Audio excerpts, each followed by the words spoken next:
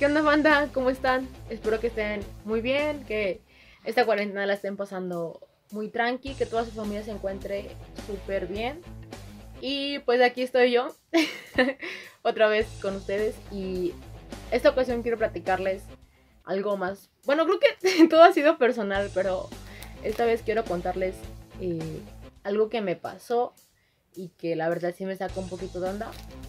Y es, la cuestión está en que ah, hace como dos meses, mm, o uno, como dos o uno, eh, yo había tenido eh, muchos problemas en mi cabeza, como pensamientos negativos, pensamientos que no me dejaban dormir. Entonces yo le platiqué a mi novio, le dije lo que me pasaba, les dije que, que tenía mucha ansiedad hacia la comida, que no podía mm, dormir en las noches, que al otro día me sentía fatal, que no me quería levantar, que no quería hacer absolutamente nada.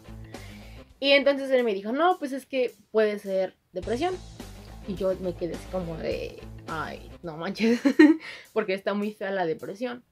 Y ya entonces le conté a mi mamá y mi mamá me dijo que, ¿por qué? Porque yo me sentía así. Entonces yo así como de, no sé.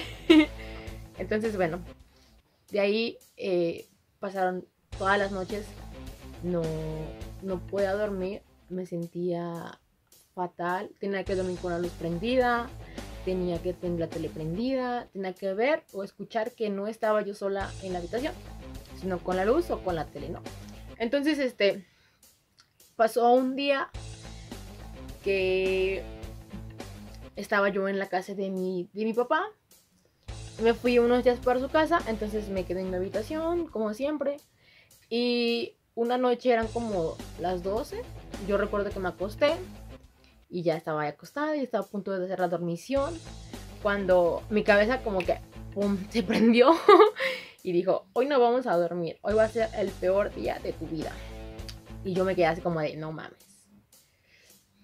Entonces, eh, me acuerdo que en ese momento no podía yo dormir. Entonces pues, me puse a ver videos, ¿no? Me puse a ver videos, a ver fotos, mm, así hacer cosas, ¿no? De hecho me puse, todo este tiempo me ayudó mucho la lectura porque me ayudaba a, controlar y calmar mi mente, pero no hacia olvidar ni, dejar de pensar esas cosas.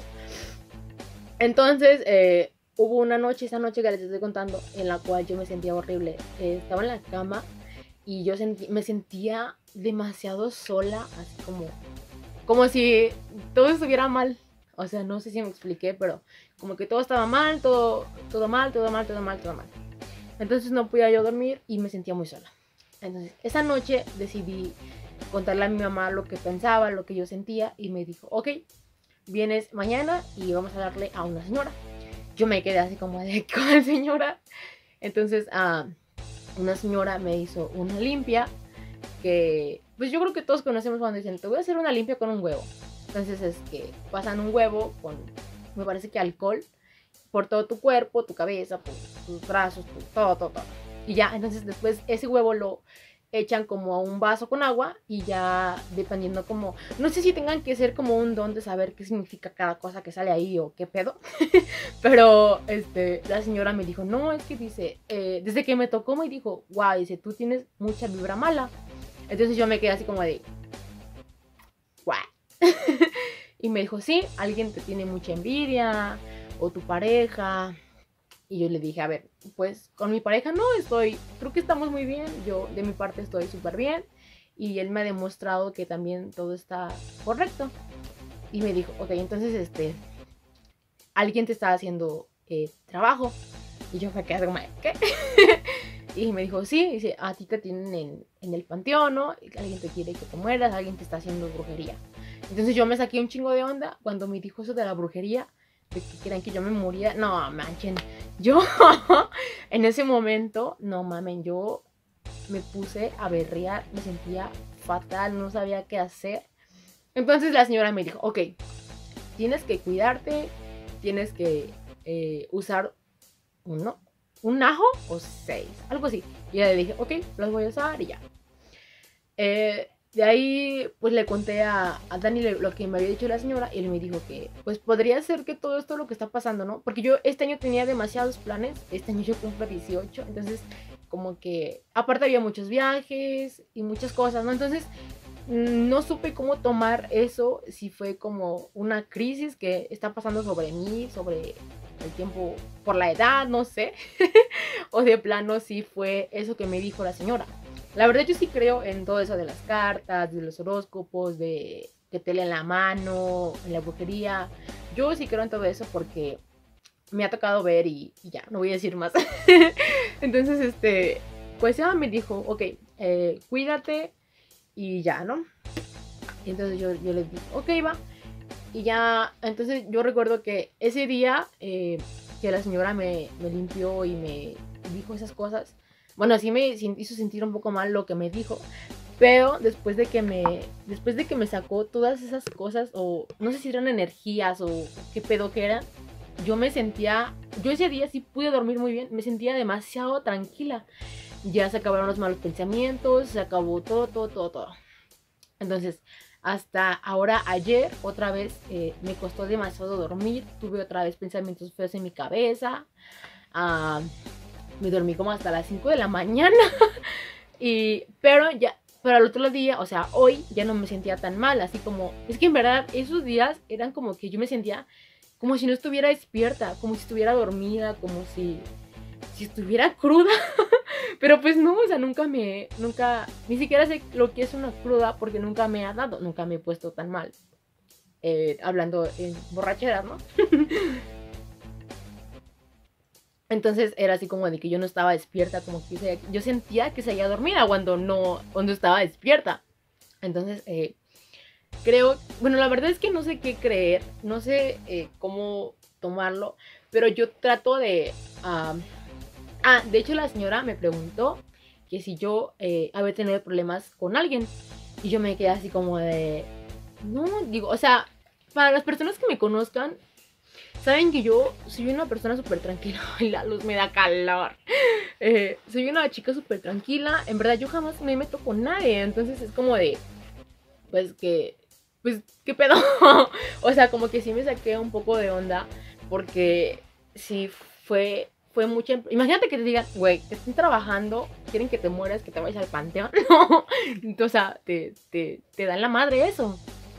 Y este, y pues ya, entonces eh, les comento que pues ahorita estoy tratando de mejorar, estoy tratando de poner mi mente en otras cosas, quiero dibujar, quiero leer, quiero acomodar mi habitación, eh, quiero tener mi mente ocupada en otras cosas.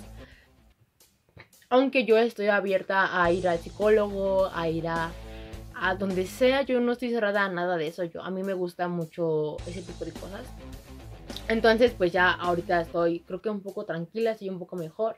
Y la, verdad es no sé qué es lo que me pase, no sé si puede hacer una señal, si um, hay algo más, o en verdad es eso lo que me dijo la señora.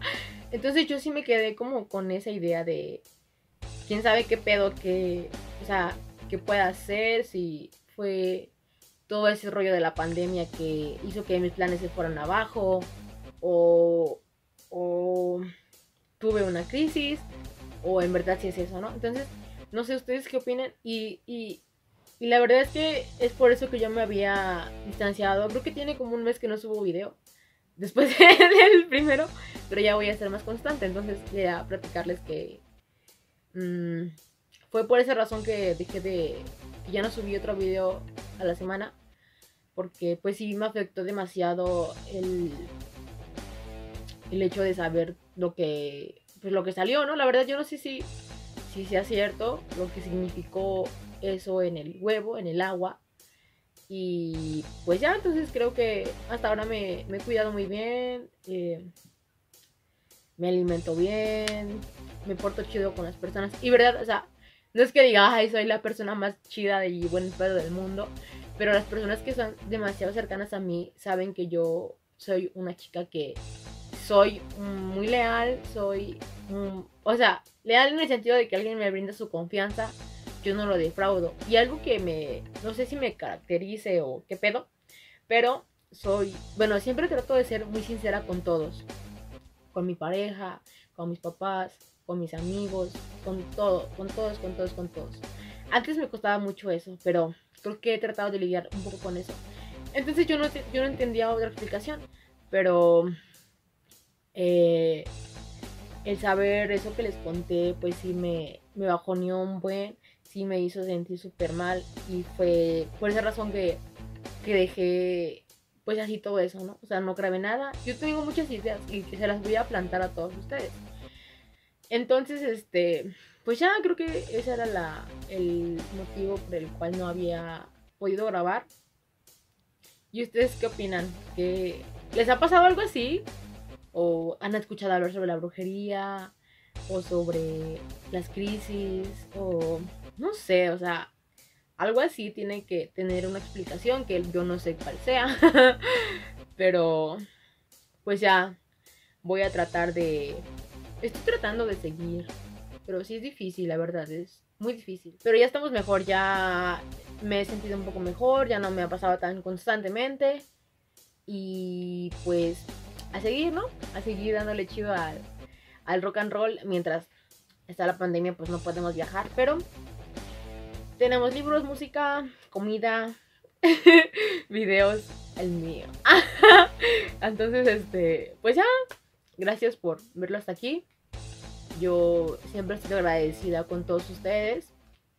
Y yo soy Michelle Servion y nos vemos en la próxima.